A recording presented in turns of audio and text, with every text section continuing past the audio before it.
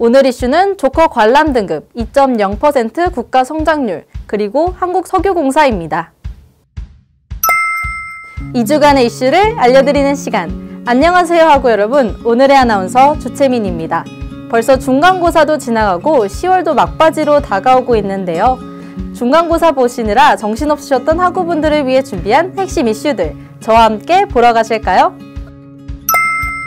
화제 속의 흥행 행진을 이어간 영화 조커.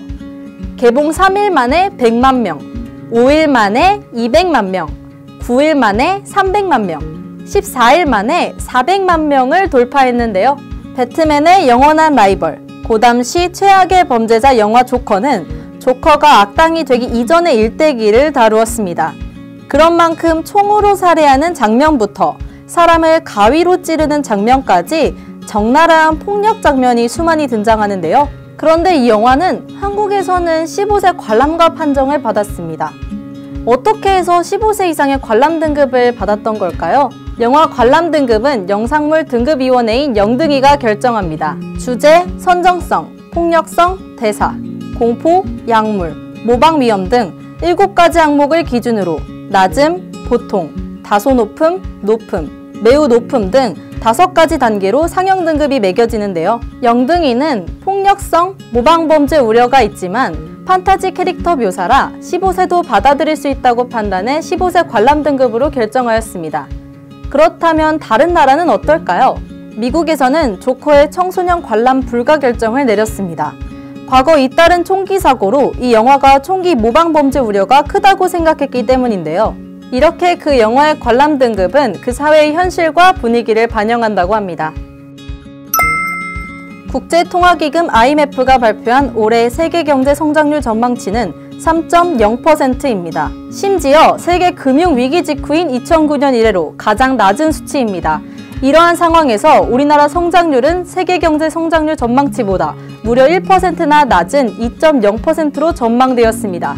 6개월 전 전망치보다 0.6%나 낮아진 수치인 건데요. 0.1% 정도 떨어진 미국과 유럽에 비하면 굉장한 수치인데요. 한편 IMF가 2% 성장률을 이야기하고 있는 상황에서 국내의 주요 기관들 사이에서는 2% 성장률마저도 쉽지 않을 거라는 생각이 지배적이라고 합니다. 경제 성장률이 국내 일자리와도 관련이 있는 만큼 경제가 좋은 방향으로 나아가길 바랍니다. 공기업인 한국석유공사는 과거에 벌였던 해외 자원개발 사업들이 잇따라 실패해 현재 부채 문제가 심각한 상황인데요. 10년 전부터 벌였던 해외 자원개발 사업이 사실상 실패하면서 지난해 기준 자본 대비 부채 비율이 무려 2287%까지 치솟았습니다.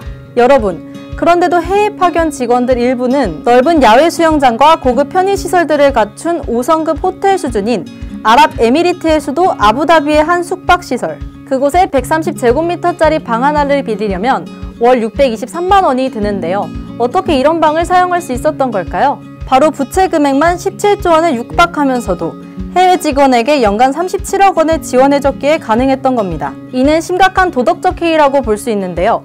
국민의 세금으로 운영되는 만큼 더 이상 이런 일이 일어나서는 안 되겠죠. 2주간의 이슈를 한 번에 정리해드리는 시간. 오늘 방송은 여기서 마무리하도록 하겠습니다. 그럼 다음에 다시 만나요. 안녕!